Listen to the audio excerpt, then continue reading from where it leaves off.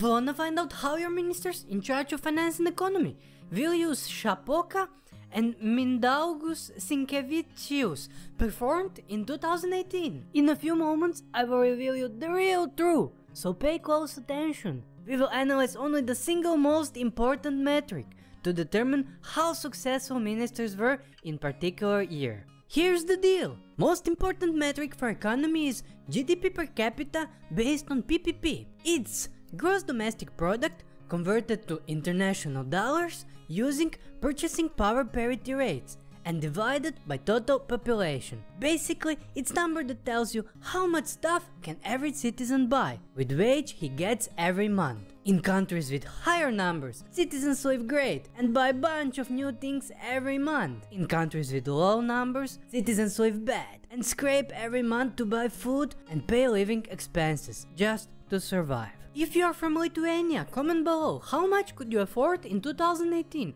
and were you satisfied with that? Now, our data source will be IMF's GDP per capita based on PPP rankings report. IMF stands for International Monetary Fund. We will analyze two main factors. Position in 2018 GDP per capita based on PPP rankings and change in rankings. Based on those factors, all ministers get grades. Grades are phenomenal, which is the best, amazing, excellent, great, good, then fair, which is neutral, mediocre, poor, bad, awful, and abysmal, which is the worst. If country dropped ranking from last year, ministers can get positive grade. Is that clear? And now are you ready? Lithuania ministers in charge of finance and economy, Vilius Šapoka and Mindaugas Sinkevičius in 2018 performed, drumroll, wait for it, great! You can best visualize it by seeing how high this red arrow is. And now few numbers. Their score was 990 and they ranked 53rd among all economy related ministers. Lithuania was ranked 42nd in 2017, which is high, and in 2018 they kept their 42nd place. So as you can see, it's a great job.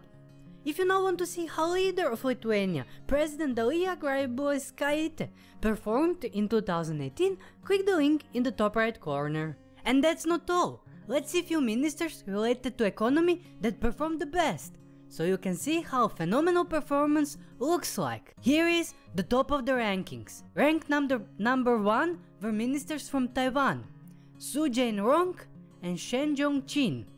They did phenomenal job, and Taiwan recorded jump of 3 places in the ranking.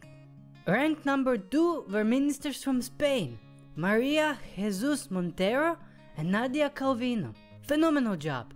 Spain also jumped 3 places in the rankings. Ranked number 3 were ministers from China, Liu Kun and Zhong Shan. And although China ranks a little bit lower than Taiwan and Spain, in 2018 they leaped 4 places from 81st to 77th.